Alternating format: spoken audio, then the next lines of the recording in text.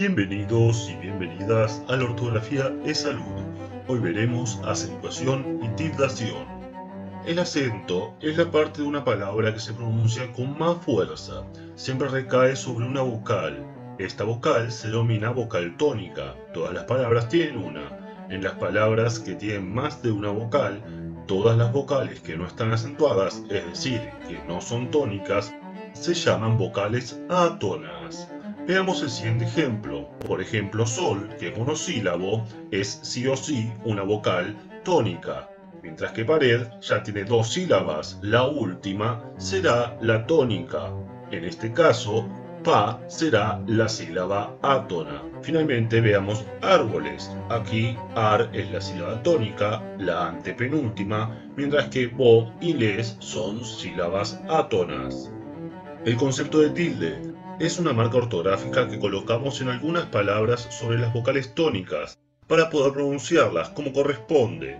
Esto es necesario porque en algunos casos, según cuál sea la vocal acentuada, cambia el significado de la palabra. Por ejemplo, no es lo mismo decir terminó, termino o término. En el primer caso es un verbo conjugado en tercera persona del singular del pretérito perfecto simple e indicativo mientras que en el segundo caso es el presente de la primera persona, singular. Finalmente, tenemos un sustantivo.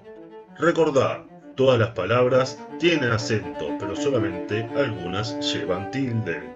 Continuemos con las reglas de acentuación y tildación. Antes, repasemos la ubicación de las sílabas. Por ejemplo, si tenemos la palabra amándoselo, aquí lo es la última sílaba, se la penúltima, do la antepenúltima y man la anterior a la antepenúltima.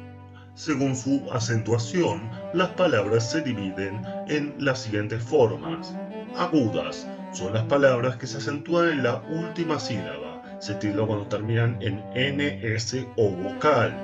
Ejemplo, piedad es aguda ya que el acento está en la última sílaba y no lleva tilde porque no termina ni en n, s o vocal. Canción. El acento está en la última sílaba y lleva tilde porque termina en n. Graves son las palabras que se acentúan en la penúltima sílaba y se tildan cuando no terminan en ns o vocal. Por ejemplo, casa. Es grave porque se acentúa en la penúltima sílaba y no lleva tilde porque termina en vocal. Otro ejemplo, mármol, el acento está en la penúltima sílaba y lleva tilde porque no termina en ns ni vocal. Esdrújulas son las palabras que se acentúan en la antepenúltima sílaba, se tildan siempre. Ejemplo, lágrima, se acentúa en la antepenúltima sílaba y siempre lleva tilde. Sobre esdrújulas son las palabras que se acentúan en la sílaba anterior a la antepenúltima. Se tildan siempre. Ejemplo, enseñándotelo. Se acentúa en la sílaba anterior a la antepenúltima y siempre lleva tilde.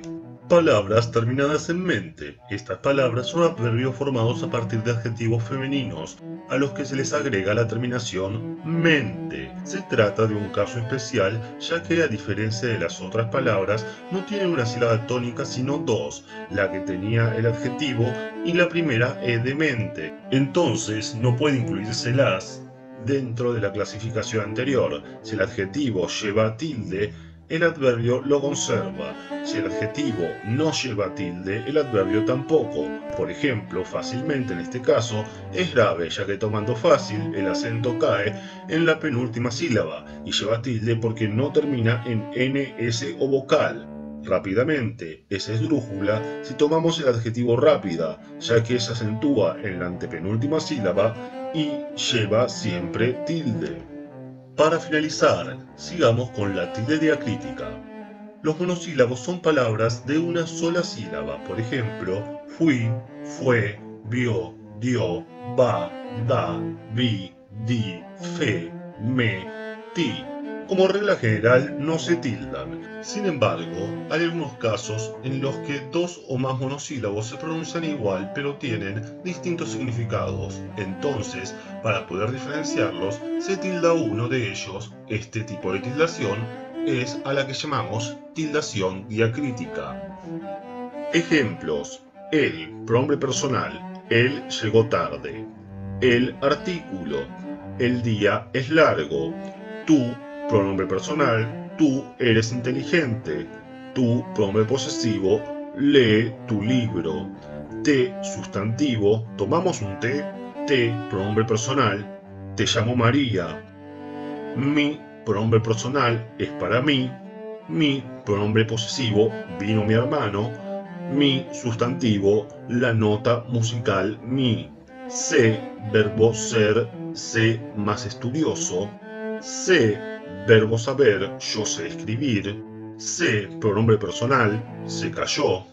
Sí, adverbio de afirmación, dijo que sí. Sí, pronombre personal, solo piensa en sí mismo. Sí, condicional, si puedo, voy. Sí, sustantivo, la nota musical, sí. De, verbo dar, no le dé importancia. De, preposición, soy de Platense. Más, adverbio de cantidad, necesito más vacaciones. Más, sinónimo de pero, teníamos ganas de jugar, más llovía mucho. Aún, adverbio de tiempo, sinónimo de todavía. Aún no estudié. Aún, sinónimo de hasta. Aún yo estudié la lección. También llevan tilde diacrítica los pronombres que, quién, cómo, cuándo, dónde, por qué, cuánto y cuál, cuando cumplen una función exclamativa o interrogativa directa o indirecta. Por ejemplo, ¡qué alegría! ¿Quién vino? No sé cuál elegir. ¿Cómo cambiaste? ¿Cuándo llegaron? Cuando llevan tilde estos pronombres se llaman pronombres enfáticos, cuando no, pronombres relativos. Última cuestión para destacar. Cuando una palabra tiene dos vocales contiguas y una de ellas es una abierta átona y la otra una cerrada tónica, la vocal cerrada lleva tilde para marcar el hiato, aunque no cumpla con la regla de agudas y graves. Por ejemplo, baúl, aunque la palabra es aguda terminada en L, lleva tildación por hiato. Tenía, aunque la palabra es grave terminada en vocal, lleva tilde por hiato. En este caso decimos que la palabra cumple con la regla de tildación por hiato. Eso fue todo por hoy amigos y amigas. Hasta la próxima sesión.